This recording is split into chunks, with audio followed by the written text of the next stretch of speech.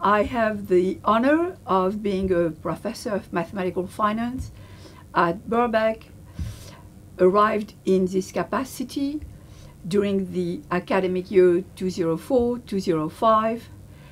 Um, previously, I was a professor of finance at ESSEC Business School, which is the number one or number two business school in France, and later on was the director of a prestigious master in finance at the University Paris Dauphine.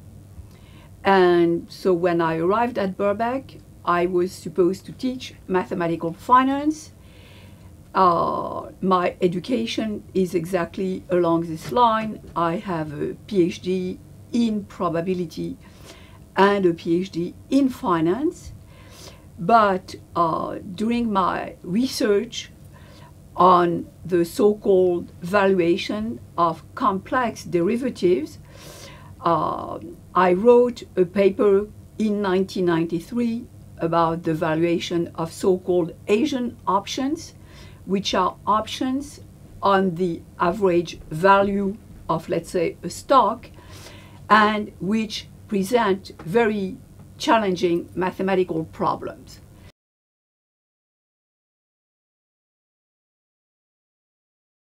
So crude oil is the most famous example of the asset class called commodities. The asset class called commodities contains energy, crude oil, natural gas, coal, electricity, contains metals like copper, gold, platinum, and contains agriculture like corn, wheat, and uh, all the commodities which are used in the daily life of human beings.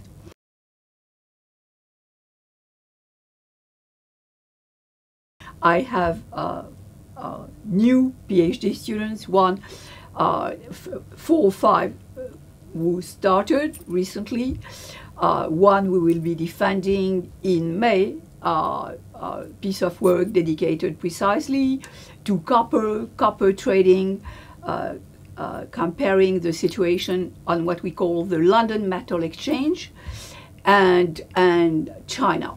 China being a major uh, player, as we know, in the global world economy, and China being a very uh, avid consumer of commodities uh, to, uh, to produce whatever exports they send to the US, Europe, and also to feed their large population. China has been very careful uh, uh over the last 10 years about uh, properly feeding their population. Uh, workers have a, a life which requires lots of efforts, and the food intake is an important element in the uh, Chinese uh, policies today in order to make sure that everybody is satisfied on that front. Hi, my name is Tara Velez. I'm a, a PhD student here at Birkbeck um, College. Um, and prior to that, I also did the MSc Financial Engineering also at Birkbeck. Um, and Professor uh, Geman is my supervisor in recent years, given uh, the, the climate of uh, global economic uncertainty and market volatility, um, more and more attention has been drawn to goods like paintings, fine art, uh, collectible cars, vintage wines, um, not just as collectible goods, but also as investments. Um, investors were looking and are looking um, for a place to, to put their wealth um, in something of enduring value. Um, so um, this is uh, kind of how the topic of, of, of fine art and, and collectibles, uh, prime real estate as well, um, caught our attention um, as a research topic. Um, also with the increase in wealthy individuals um, over the years, especially um, in China and Asia Pacific. So a lot of new wealth, um, looking for somewhere to put their money um, in, in, tangible things that could serve as a, um, store of value and hedge against inflation as well. Um, yeah. Okay, so Tara, you spent a number of years at Birkbeck, mm-hmm. uh, first as a, a master student in the program of financial engineering, then as a PhD student, and in fact, Tara was supported by a grant here mm-hmm. because she, she was a brilliant student before starting her PhD. So tell us about your experience at Birkbeck in these different capacities. Um, sure. Um, well, as far as my PhD experience, well, first of all, my experience at Birkbeck has always been positive. Um, and secondly, as a PhD student for the last four years, um, I've been very lucky to have an amazing supervisor um, who's been extremely attentive, um, a great mentor. Um, I've really enjoyed working with her. I've, I've gotten so much out of, out of the PhD as far as um, the interesting topics we've covered, uh, the research process from finding a topic to, to um, submitting to a journal and, and the process of of reviewing and revising and, and being accepted.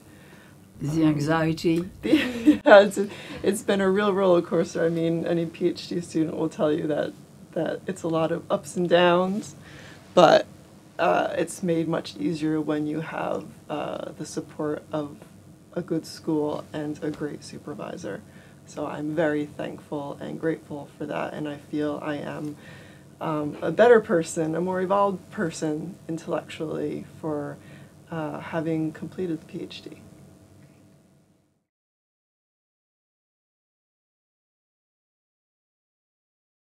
the list of publications have has to increase.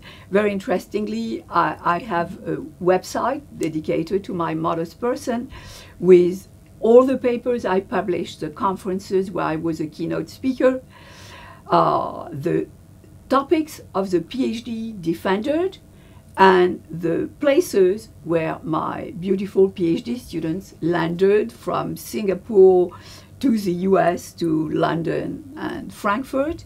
And very interestingly, uh, each PhD student uh, takes her or his turn in maintaining the website, and Tara has been the one doing it until today and so clearly uh, including uh, to get new master students in order to get new PhD students, whatever we have published year after year is visible and, and contributes obviously to the image of Birkbeck outside. Today we know that even to teach in a master program, your research needs to keep going, in particular in a field called finance in general, where so much is happening and where uh, the picture is different.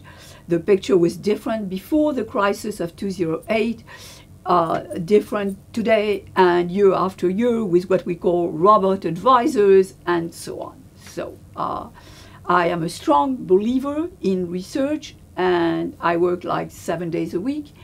And my PhD students are very uh, positively, uh, enthusiastically uh, join that pace. Absolutely. I think we should also mention that uh, has uh, a book that was recently published last year in agricultural commodities.